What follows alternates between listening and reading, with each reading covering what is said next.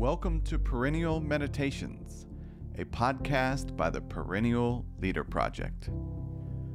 Here we bring you short reflections inspired by ancient philosophy and spiritual traditions. Each episode is based on timeless principles and practices to help you live your highest good. To learn more, visit perennialleader.com.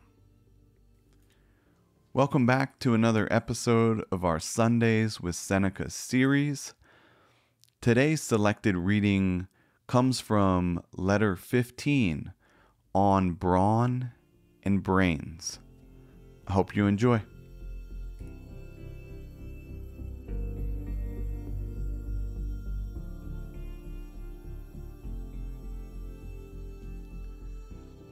The old Romans had a custom which survived even into my lifetime. They would add to the opening words of a letter, If you are well, it is well. I also am well. Persons like ourselves would do well to say, If you are studying philosophy, it is well. For this is just what being well means. Without philosophy, the mind is sickly, and the body too. Though it may be very powerful, it is strong only as that of a madman or a lunatic is strong. This then is the sort of health you should primarily cultivate. The other kind of health comes second. Now, there are short and simple exercises which tire the body rapidly and so save our time. And time is something of which we ought to keep strict account.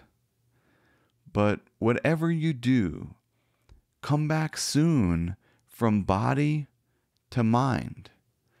The mind must be exercised both day and night for it is nourished by moderate labor, and this form of exercise need not be hampered by cold or hot weather or even by old age. Cultivate that good which improves with years. Of course, I do not command you to be always bending over your books and your writing materials. The mind must have a change, but a change of such a kind that is not unnerved but merely unbent. You see, I have relieved you of no slight bother, and I shall throw in a little complimentary present. Here is the proverb it's an excellent one. The fool's life is empty of gratitude and full of fears. Its course lies wholly toward the future. Therefore, continually remind yourself, Lucilius, how many ambitions you have attained. When you see many ahead of you, think of how many are behind if you would thank the gods and be grateful for your past life. Fix a limit which you will not even desire to pass, should you have the power. At last, then, away with all these treacherous goods. They look better to those who hope for them than to those who have attained them. If there were anything substantial in them, they would sooner or later satisfy you.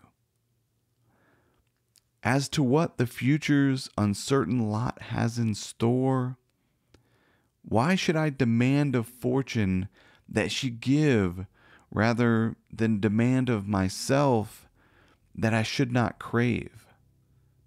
And why should I crave? Shall I heap up my winnings and forget that man's lot is substantial? For what end should I toil?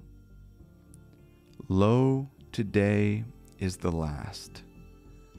If not, it is near the last. Farewell. Thank you for listening. I hope you found something useful.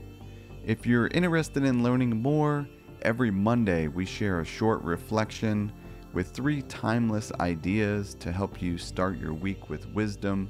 You can subscribe at perennialleader.com. Until next time, be wise and be well.